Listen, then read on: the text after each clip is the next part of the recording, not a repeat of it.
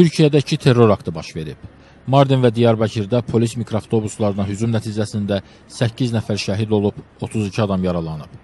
Mardinin Qızıltəpə qəsəbəsində polis mikroavtobusu keçərkən PKK terrorçuları yolun kənarında dayanmış avtomobili partladıblar. Rəsmi məlumatlara görə terror hücumu nəticəsində bir polis əməkdaşı və iki mülki şəxs həlak olub, 5-i polis olmaqla 20 nəfər yaralanıb.